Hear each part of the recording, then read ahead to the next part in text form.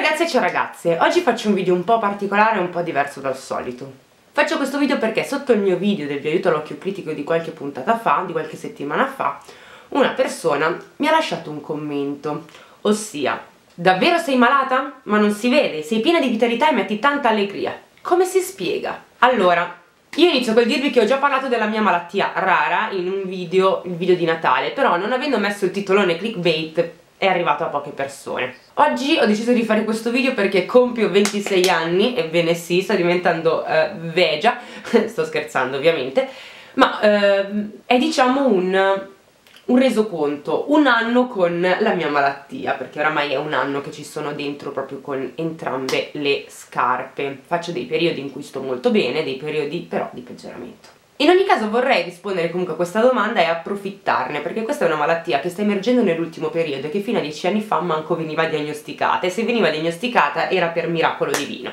Quindi niente, perché non parlarne? Iniziamo col dire che odiernamente i medici che trattano questa malattia sono davvero pochi sono invece tanti quelli che non sanno esattamente che cosa sia, come fisioterapisti o osteopati, ma si impuntano nel voler comunque provare a fare delle manipolazioni che spesso e volentieri vanno a peggiorare i dolori che deve subire il paziente affetto da questa patologia. Credetemi, da quando sono entrata in questo mondo, sono entrata in parecchi gruppi Facebook proprio per cercare persone affette dalla mia stessa patologia, è la cosa più ovvia, e ho letto tante tante esperienze, tante tante esperienze diverse di persone che spesso e volentieri da Napoli hanno dovuto farsi il viaggio del, della speranza fino a Milano per cercare di avere una diagnosi, attenzione, una diagnosi, eh, si parla solo di diagnosi. Iniziamo a dare un nome a questa patologia, io soffro di neuropatia del nervo pudendo, o ancora meglio, nevralgia del pudendo. Il pudendo che cos'è? belli miei ovviamente è un nervo, è un nervo che eh, nel momento in cui si infiamma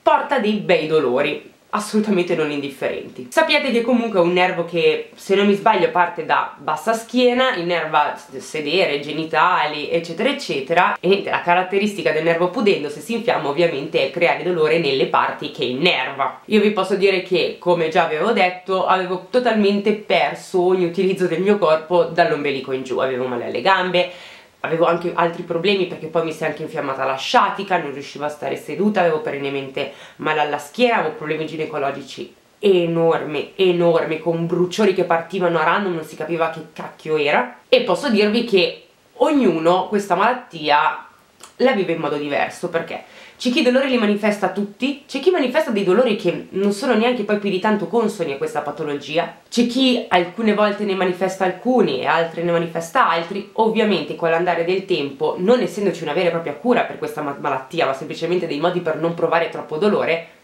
inevitabilmente peggiora. Ora vorrei rispondere a quella domanda che mi ha fatto quella ragazza in un modo un po' più concreto. Io sono stata tanto male, talmente tanto male da non riconoscere più me stessa per almeno 4 mesi buoni. Quando però poi sono riuscita a trovare un medico che quindi mi ha portato verso la via della guarigione, ho iniziato automaticamente a stare un pochino meglio. Nel momento in cui sono stata un pochino meglio, l'umore mi, mi, è balzato praticamente alle stelle, ovviamente. Come faccio ad essere così piena di vitalità nonostante anche in questo momento io abbia un mal di schiena che, credetemi, non è indifferente?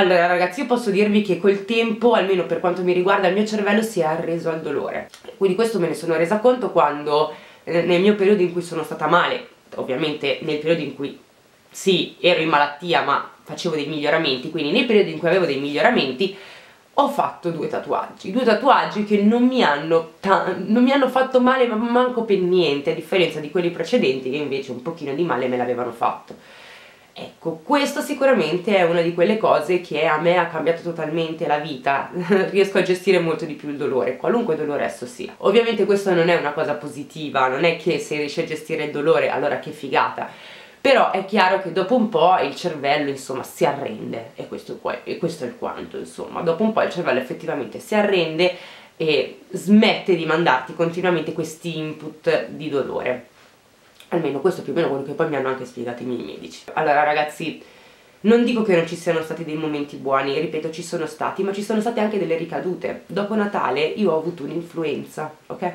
Dopo Natale, poche, poche, settimane fa in realtà. Voi vedrete questo video settimana prossima, quindi due settimane fa. Ma un'influenza che fa ride, ha fatto ridere i polli perché ho vomitato due volte, ho avuto un po' di febbre di notte. Il giorno dopo mi sono svegliata che sì, ero spostata, avevo male ovunque e avevo la nausea. Ma a parte quello non avevo altri segni di influenza, era più un postumo dell'influenzina che avevo avuto, comunque del malessere che avevo avuto. Ecco, quella cosa lì praticamente mi ha devastato tutti i muscoli, talmente tanto che avevo male ovunque, mi sembrava di essere tornata nella malattia al 150%, perché la mia malattia all'inizio mi faceva provare fitte alle gambe a caso che io non capivo, um, ed era tornata questa cosa, fitta alle ginocchia, fitta alle caviglie, facevo fatica a stare in piedi, tutte queste cose qua. Per quella giornata lì era tornata e io non vi dico quanto mi sono cacata in mano, ho detto proprio chiaramente per questa cosa, mi sono preoccupata davvero tantissimo.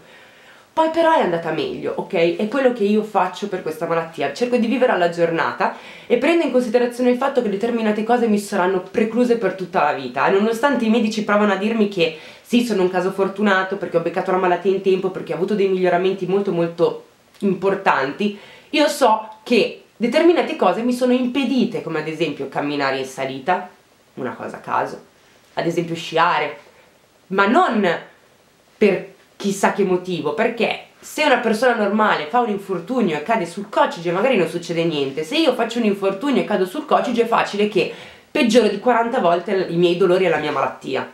Quindi è chiaro che la mia vita deve essere comunque vissuta con dei paletti, ok? Io non posso più fare quello che mi va.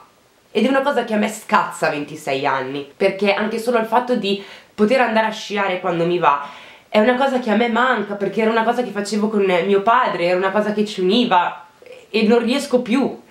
Non riesco più perché il freddo prima di tutto irrigidisce i muscoli, perché il freddo crea più problemi ai muscoli, effettivamente poi eh, sto molto meglio d'estate rispetto all'inverno. E quindi ci sono queste cose, no, che mi sono impedite a prescindere, nonostante i medici mi dicono ma no tranquilla, vedrai che ce la rifarai a fare tutto questo, magari sì, però io so che al momento non lo posso fare.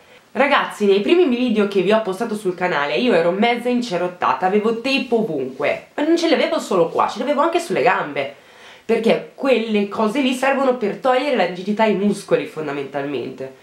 E di conseguenza io li usavo e mi hanno aiutato tantissimo, tant'è vero che il vero e proprio miglioramento ce l'ho avuto da giugno in poi, diciamo.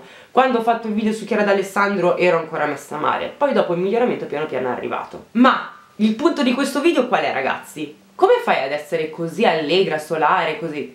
Perché io non sono il mio dolore. Io sono Silvia, ho 26 anni, abito in provincia di Novara, sono una ragazza abbastanza spigliata, sono, mm, tendo ad essere simpatica, tendo a fare battute, tendo ad essere molto molto vitale e sono così perché è la mia personalità. E io non permetto a una malattia a 26 anni di spegnere la mia personalità o la mia vitalità. Ripeto, so che dovrò fare i conti con questa malattia probabilmente finché campo. Questo però non mi impedisce di tentare di essere sempre me stessa e di non perdere la mia personalità. Io non voglio assolutamente smarrire quello che è Silvia. E quindi il messaggio che voglio mandarvi è questo, sì è vero, essere malati è uno schifo, e va benissimo, ma la mia malattia non mi deve impedire di essere Silvia. Ho imparato, ho imparato il fatto che questa malattia sia una parte di me, ormai, e che ci debba convivere in qualche modo.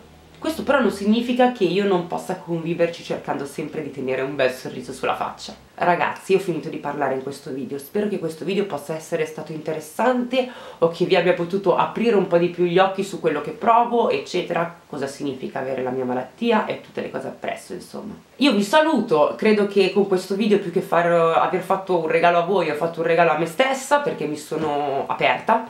E mi sono aperta anche con qualcosa che per me è importante Ehm, quindi sono felice di avervi, detto, di avervi raccontato questa cosa, sono felice di aver girato questo video. Io vi mando un bacione, ci vediamo prestissimo al prossimo video, sicuramente con argomenti più lieti e simpatici. Mi raccomando fate i bravi, mangiate sempre le verdure, ma soprattutto ricordate che l'occhio critico vi osserva.